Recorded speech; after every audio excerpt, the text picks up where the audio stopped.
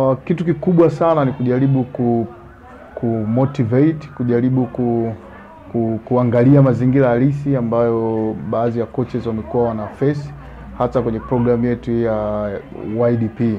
Kwa mfano kama Mbeya ni sehemu ambayo tumeamua kuja sababu hatujasikia wala kuona kwamba kuna kuna program zozote za watoto wadogo.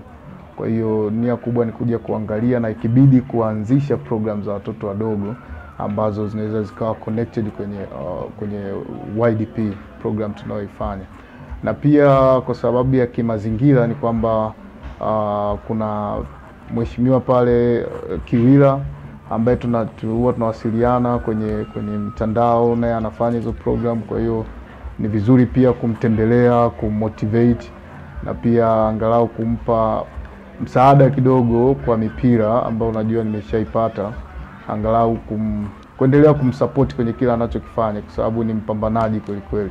Uh, vile vile ukienda Rukwa huko nani Sumbawanga ambapo yuko Hamisi Mpili, nafikiri naye ni kama walioko hapa kwamba naye anahitaji kuwa motivated kwa sababu amekuwa akipambana na ukiona anakuwa anapambana yeye peke yake tu. Kwa hiyo hiki ninachokifanya ni kujaribu kutengeneza network ambayo itatusaidia kufanya kazi kwa pamoja na kuongeza kuongeza wigo kwa maana kwamba kiutaalamu uh, na na vitu vingine tunavyojaribu kuvifanya, na pia katika safari hii nimeona niende Iringa.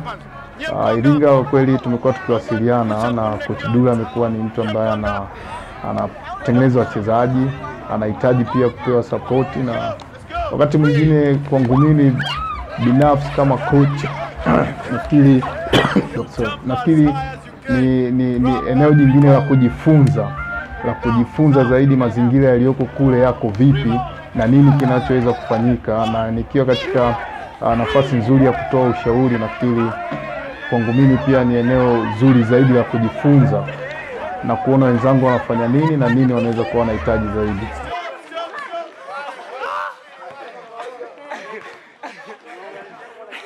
Uh, kwenye jiji la Mbeya mm. uh, ni challenge gani au ambazo wana wanaziface kwenye basketball?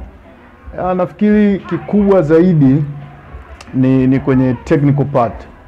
Napoongelea technical part na maana kwamba wanahitaji sana ushauri wa kiufundi, kwa sababu kadri nilivyozunguka na bahati nzuri tukawa tunazunguka wote, unakuta mazingira yani yanaruhusu. Kuna viwanja viwanja vingi ambavyo viko kwenye mashule uh, ukiangalia huku nyanda za juu, upatikanaji wa vyakula upo. Nafikiri mara nyingi tulivyokuwa tukitembea hata mjini, unapata kuona vijana ambao wana maumbo makubwa.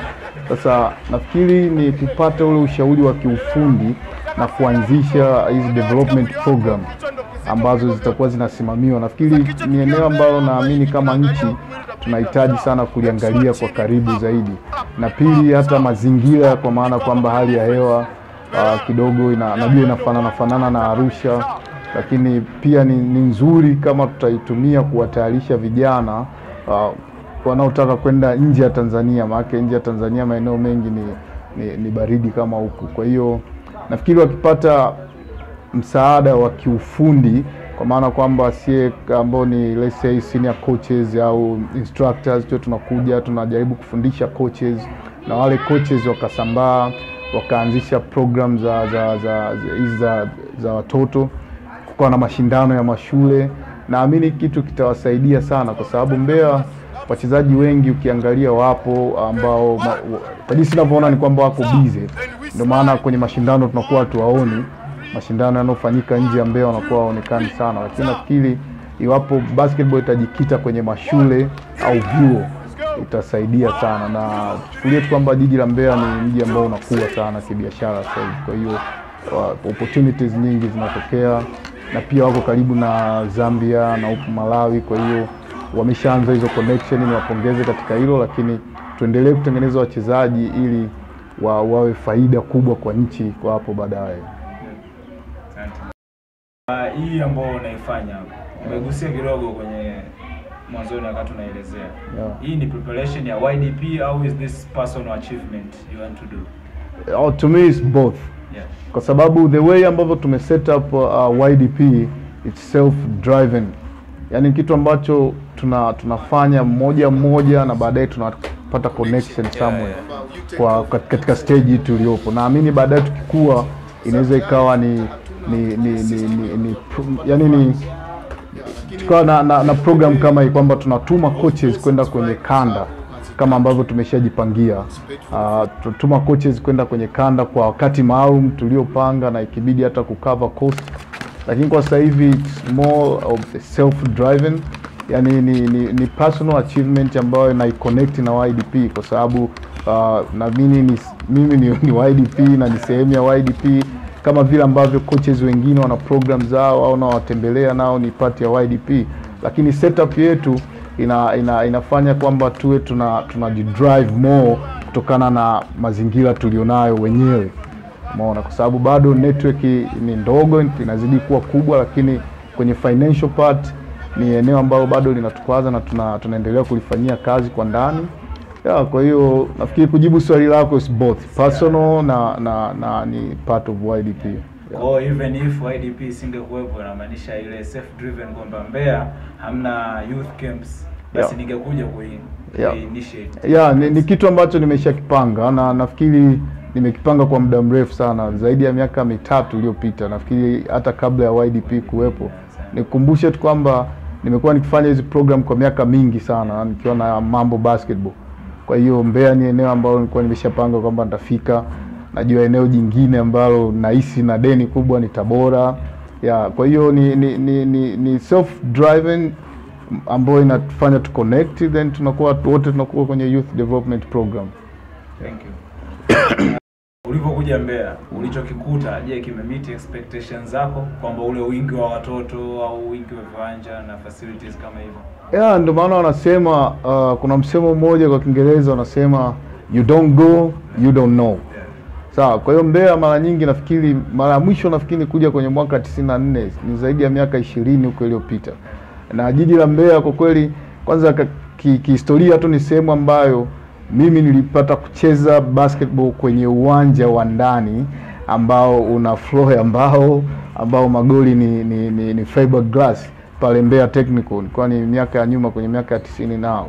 Kwa hiyo ni, ni sehemu ambayo nilikuwa natarajia kuna vitu vinaendelea, lakini nimekuja nimekuta kwamba infrastructure kwa maana ya mashule yana viwanja na cha ajabu tu nilichoshangaza ni kwamba wale jamaa wanakuwa wanajipush wenyewe wame, wana, wana, wana bondi moja kubwa sana uh, watu wa basketball na unaiona jinsi wanavyojipush.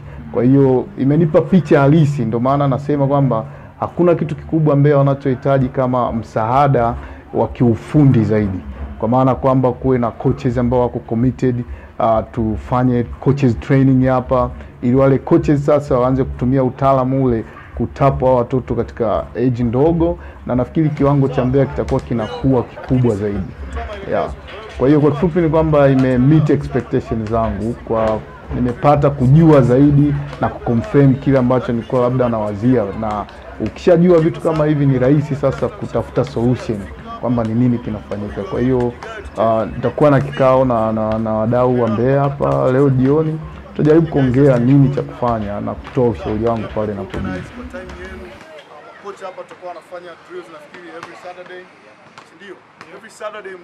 Unaweza ukatoa advice yoyote, nini umuhimu wa kuwa na camps za watoto katika maeneo mbalimbali katika nchi especially Mbeya au kwenye majiji makubwa kama haya ambayo yana viwanja vingi? Yeah, uh, hizi camps zina zina advantage kubwa sana sawa, kwa maana kwamba cha kwanza ni kujaribu, mnakuwa mna, mnaweza mkazitumia camp kupromote mchezo. Kwa hiyo kuna aina ya camps ambazo zinafanyika tunasema ni promotional, kwa maana kwamba za kuhamasisha, zile ambazo unakuta unaweza ukawa na watoto mia tatu mia mbili uh, zina zinakuwa zinafanyika. Sasa kupitia hizo kempu unaweza ukawa unafanya, kuna kitu tunaita ni, ni talent scouting ukajaribu kuangalia ni watoto gani ambao unaona unaweza ukawaspoti mle ambao baadaye wakahitaji mwendelezo. Kwa hiyo mwendelezo ule sasa unakuja kwenye kitu tunachoita uh, development camps. Naona, kwa hiyo ni level nyingine ya camps ambayo tunakuwa tunaifanya ina, ina, inakuwa katika level ya juu zaidi na inahitaji uh, mwongozo zaidi katika ku, ku, kuz, kuzifanikisha. Kwa hiyo camps zinasaidia sana kukuza michezo, achilia mbali tu mpira wa kikapu na vitu na vitu vingine yani. Gani kuhusiana na umuhimu wa camps za watoto au za vijana kwenye kwenye majiji makubwa kama Mbeya, hasa yenye viwanja vingi namna? Ya, uh, ushauri wangu mkubwa kwenye hizi basketball camps ambazo zinatakiwa kuwa zinafanyika kwenye kwenye maeneo mbalimbali ya nchi, kuachia tu mbali miji mikubwa, nafikiri tukizitumia vizuri zitatusaidia sana katika ku, ku, kuhamasisha kwa maana kwamba tunasema it, itapromoti mchezo uh, na cha pili itasaidia katika kufanya zile talent scouting na development kwa maana kwamba kupitia hizi camps tunaweza tukawa tunajaribu kupata wachezaji na baadaye kuona jinsi gani ya kuwaendeleza. Kwa hiyo camps nafikiri ziwe zinaendelea na ndio kitu ambacho wenzetu wa Marekani kule wanafanya, nimeona Kenya wanafanya, uh, Rwanda ambao kimchezo kidogo wako juu nao ni vitu ambavyo wanafanya.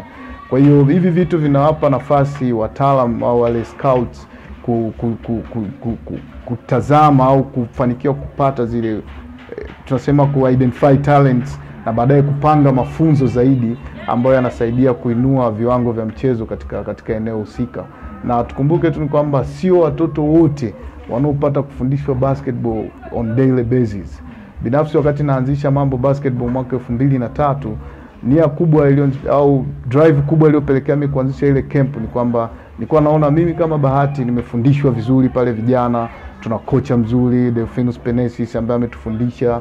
Kwa hiyo je, mimi kama mchezaji au mimi kama coach nita, nitafanya nini kitakachoniwezesha kuwafikia wachezaji wengi in, in, in, in large, kwa maana kwamba nisiwe na coach wale walioko vijana tu. Kwa hiyo ndio idea ikaja hiyo ya kuwa nafanya basketball camps, na hiyo idea nimeipata nikiwa kwenye mafunzo ya ukocha Hungary hiyo mwaka elfu mbili na tatu na nilivyorudi nikaanza kuwa nafanya hivyo vitu, na utaona tu kwamba imenisaidia kama coach, napata nafasi ya kujifunza mengi, kukutana na watu. Kwa hiyo yale ndio kwa nayafanya miaka ile, ndio sasa hivi na zile connection unakuta tunafanya network kwamba tuna YDP imekuja tu kwamba tunatafuta solution ya matatizo, sio kuongeza matatizo kwenye mpira wa kikapu kama coaches. Kwa hiyo nasema camps zina faida kubwa sana, na sasa hivi na nafurahi sana ninapoona uh, kuna camps nyingine zinaanza kuwa zinajitokeza.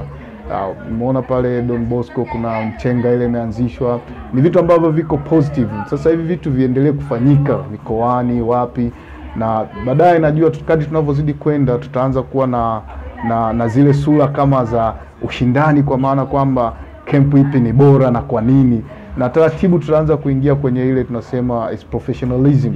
Kuna camps nyingine ambazo zitaanza kuwa zinafanyika, watu itabidi waanze kulipa kutokana na service inayopatikana pale. Kwa hiyo hiyo ndio njia pekee ya kukuza mchezo.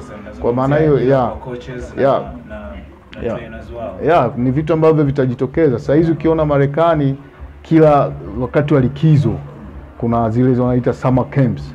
Kwa hiyo zipo mbalimbali ambazo it's not for free, watu wanalipa. Sasa na sisi hapa tukianza kujitangaza ndo tunavyozidi kuongeza value ya mchezo wetu, kwa sababu utaanza kuconnect na wazazi, utaanza ku, ku, kuweka price kwenye kile unachokifanya, na mara nyingi kitu chochote kinapokuwa na value fulani na price inakuwepo, kwa hiyo ndo maendeleo hayo.